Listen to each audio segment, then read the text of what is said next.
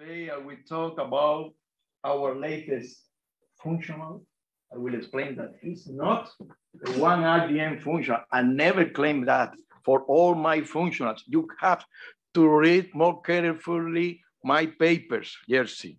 I never claim that, never. I always prefer the name Natural Orbital Functional Approximation. Even I wrote a paper about this in 19, in, in 2018 in an honor of Norman March about the N representability problem of this functional because we have still, I will demonstrate here that we have still this, uh, okay, this problem of dependence on the two metrics, which was already pointed out by Löwdin. Well, this is the motivation. We know that the DFT have many problems still, especially for an efficient description of strongly interacting electron. Our goal, let's say, is achieve a more precise formalism than approximate density functionals. I insist at approximate density functionals, but less computational demanding than ab initio wave, uh, wave function based methods. Okay, my general consideration, we consider only an electron at zero temperature. This is a time-independent uh, functional theory for the ground state. And this is our Hamiltonian independent of the spin. So we have here H are the matrix element of the kinetic area and standard potential, a one particle part of the Hamiltonian. Brackets are the two electron integrals, and the A are the familiar creation and annihilation operator associated with so complete orthonormal a spin orbital set because we don't have dependence on the spin. Then for any system with a spin different from zero, we have a multiplet, which means we have zero, let's with different projection of the spin, but with the same total spin.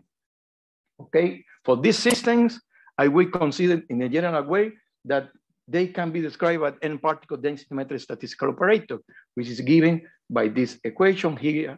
Omega is a positive number that some one. So these are a typical uh, average of the pure state. When you have pure state, then you have only one term. And the energy for, for these systems is well known, is exact, is a function of the one particle and two particle density metrics, which are given by this equation. These matrices, of course, they satisfy many properties, they are Hermitian, they have no negative diagonal elements, and I'm not going into details. And if you contract one more, the two metrics, then you will obtain the one metric. So in general, we can consider that this energy function is a functional and exact functional of the two particle density matrix. So we can take these two metrics as a variable, and we can try to obtain the energy by variation of, with respect to these two metrics. But we all know that attempts to determine the energy are complicated due to the lack of a simple set of necessary and sufficient conditions for ensuring that the two matrices correspond to an n-particle density matrix, which is a well-known DNA representability problem for the two metrics. So in the 70s, these people uh, already suggested, let's uh, substitute the second term of the energy, which is a function of the two metrics, by an unknown functional of the one matrix, the electron-electron functional here in, in blue, okay? And this is the demonstration given by Gilbert in 75 for the pure state, by Levy Nater, and by Valone for the ensemble states, that you can obtain this functional by some constraining search formalism. This search formalism, what happened with it, well, you can demonstrate that the functional exists, but how to use for practical applications. Well, maybe in some cases when you have a lattice, you can exploit the translational symmetry, boundary condition, and then you can find an exact function, but only for these special cases. In general, this constraining search is not appropriate for computation. So we have, as far as we know, as uh, this function has been reachable, and we have to settle for approximations. Okay. To do approximation, what we use normally is the representation in which the one matrix is diagonal. Then you have the one matrix in expected, uh, the expected decomposition of the one matrix. The eigenfunctions are the natural orbitals. The eigenvalues are the occupation numbers. And in this representation, already Coleman found the necessary and sufficient condition for the representability of the one matrix. The occupation number have to be between zero and one, and the sum has to be equal to m. And the universal function, and now in this representation is given by this equation below, where you can obtain the ground state using the variational principle of quantum mechanics. This is the expression given by the uh, Sears in this particular representation. The problems appears here. All the functions we have proposed so far are based on this equation in which we propose a parametrization or let's say a reconstruction of the two metrics in terms of some occupation numbers. And yes, you are right. If you do this, you are out of the one reduced density matrix functional theory because you are not reconstructed the two particle, the, the electron-electron energy, the complete electron energy. You only reconstruct the two particle density matrix. And this already was pointed out by Löwdin in the papers in the 50s and very good paper of Donnelly in 1979, that these kind of approximations still depends on the two particle density matrix. I have wrote everything about this many times. So now the problem is if you want to do this kind of approximation, the best you can obtain is some expression for the energy and behind this expression for the energy, maybe there is an approximate wave function. That is the case of PNOF5, which by the way is not only for one-to-one -one, uh, coupling. We have extended the PNOF5 when you have many couplings, not only the bonding anti-bonding level. So for this um, kind of problems, then you need to worry about the energy representability of the one particle density matrix, but also about the energy representability of the function. If you want to obtain some energies with physical meaning, and then because you are reconstructed only the two metrics, this problem is related directly with the energy representability problem of the two metrics. So we have not incubated the problem.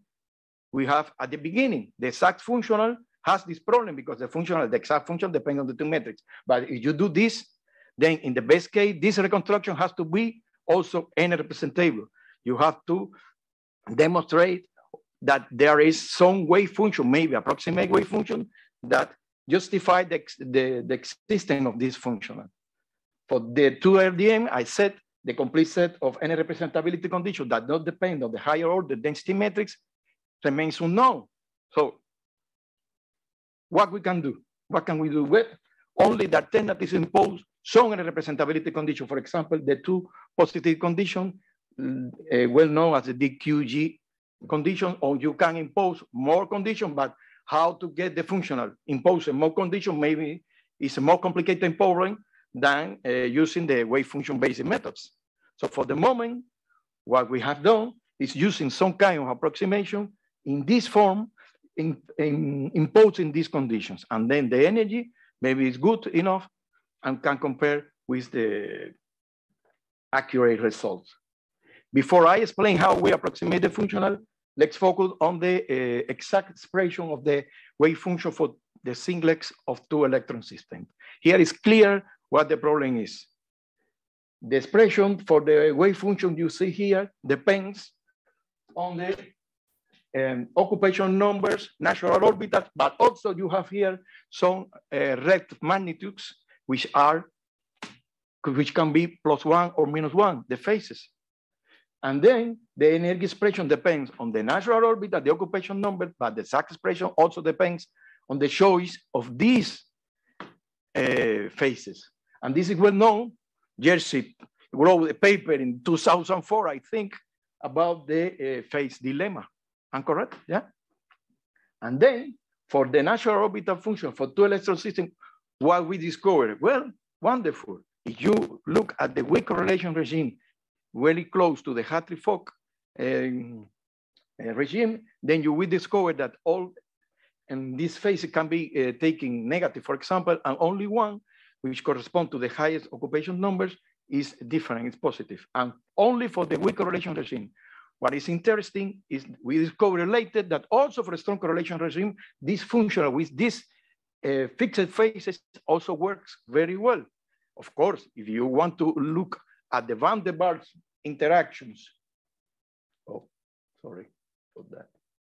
If you want to look at van der Waals interactions, there are papers in which it's demonstrated that the phases change. You have to alternate the phases and find us something else. So the functional is correct or is accurate only when you look at two electron system in the singlet state, and practically you will obtain in many regimes very accurate result. And this is why the motivation for using electron pairs as basic units. Okay, may I ask a quick question? Is H minus strong correlation or weak correlation? Is, Well, is H H minus. minus strong minus. correlation or weak correlation? You have only one electron there. And H minus. A hydrogen atom. I don't know. Ah, H2 minus. Ah, no, H minus. H minus. Ah, you have two electrons only one. Well, I don't know. I never calculated this. I, Okay. I can, I have to think about that. I can tell you Ah, the. Same pattern of that you mentioned. Which is which wrong? It's wrong. Oh, no, I agree. I expected that because it's for these two systems in the, uh, I don't know, H manual have to think, what about the strong or- not? I say that is very accurate functional for molecule, for many atoms. I don't say that this is a sad functional because the phase problem is there. This is what I'm saying now. Can can just repeat if I understand your argument correctly? So we have this extra phase freedom, which you don't know how. This is correct. You need some extra information to determine it. Even for this system, it's so difficult Uh, extra, to find a functional. and and because you need this extra information, this makes the functional not really a function of the one RDM. That's correct. One RDM plus Exactly. If we use this functional, we know we don't know how to change to all representation. Yes, we do.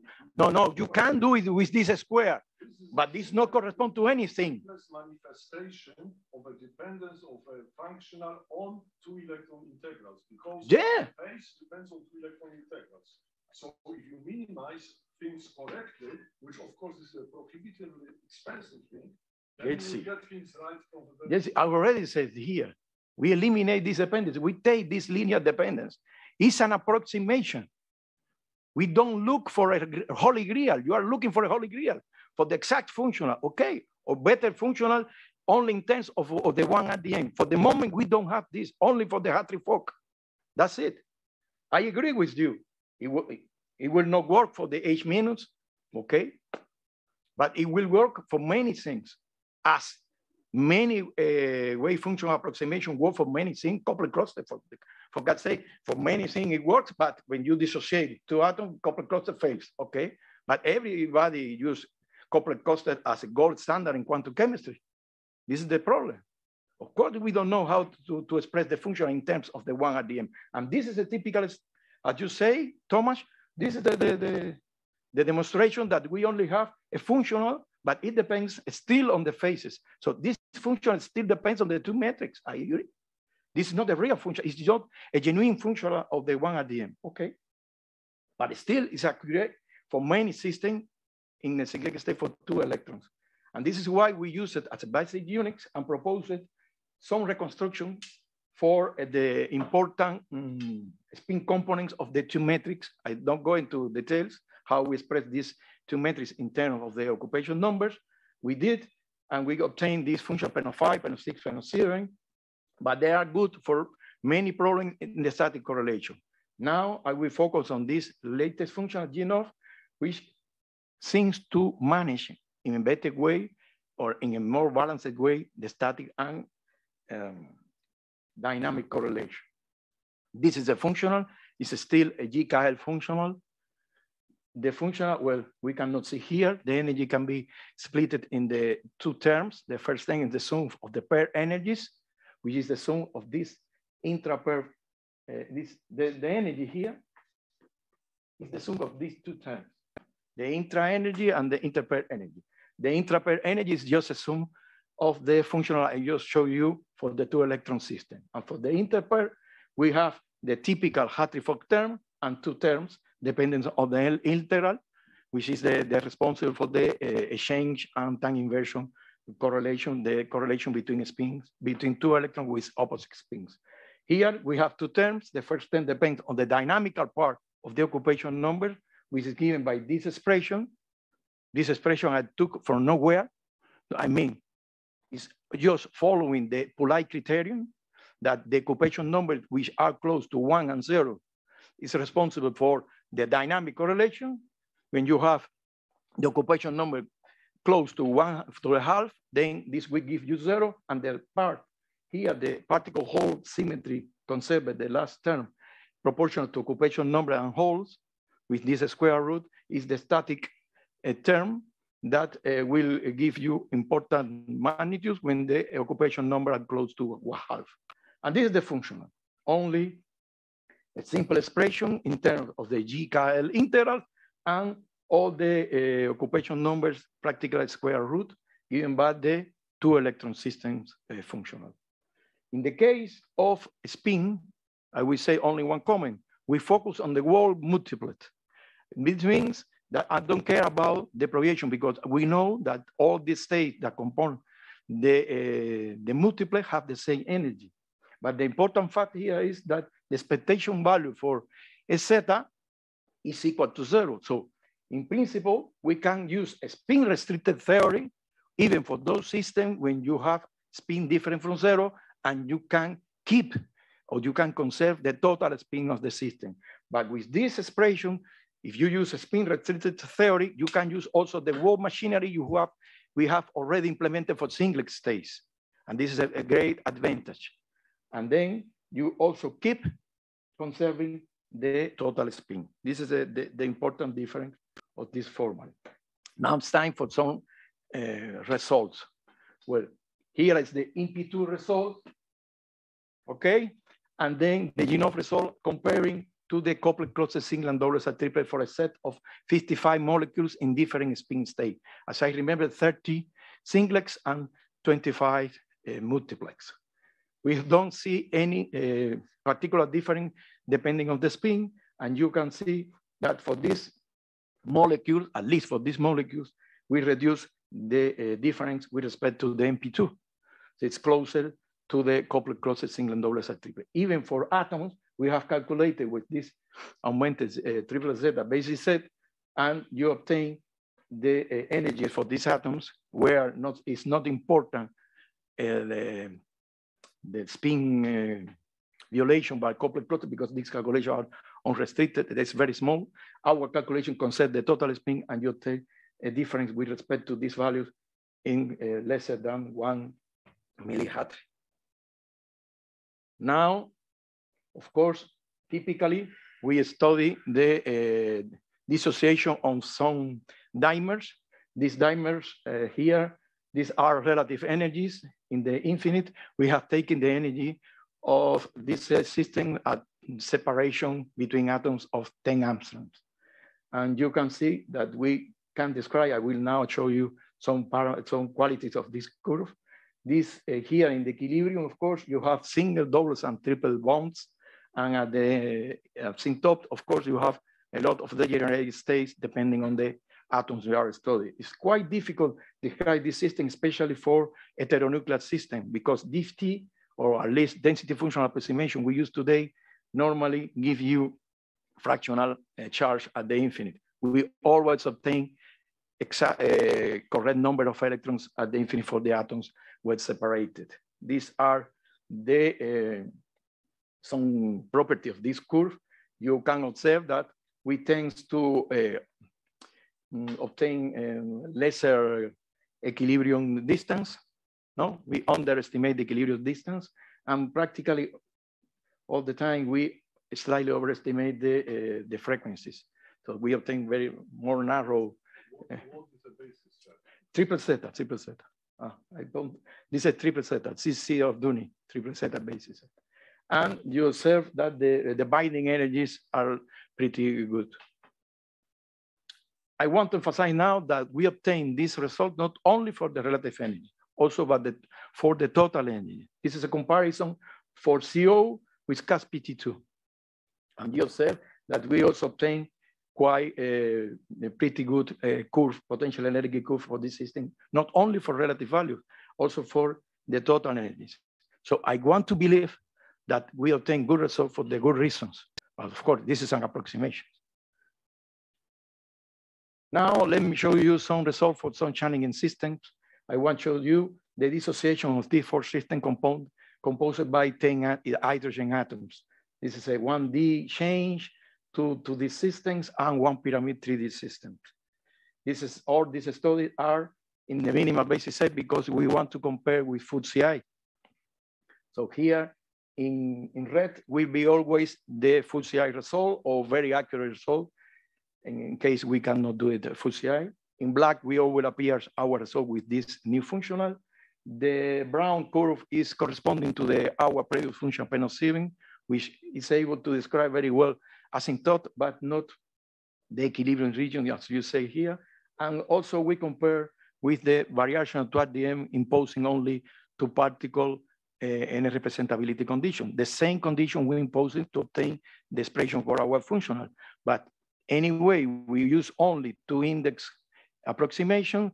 So in some way, we have obtaining energy above the uh, full CI result. With the variation to at the end, you obtain uh, quite below, you will see for other system energies. This is the result. We wanted to see what happened if we increase the, the system, not only the linear change with 10 atoms, but also with 50 atoms. And you see the result is not deteriorate with the increasing of the systems. This is the result obtained by Mazziotti, I think, for the two RDM variational method imposing only two uh, at the end, or maybe by DePrince, I don't remember now. Now, this is before I show you the 2D systems, I want to show you the 3D system. For the 3D system, I show you here, PNOF7 in brown is going down there.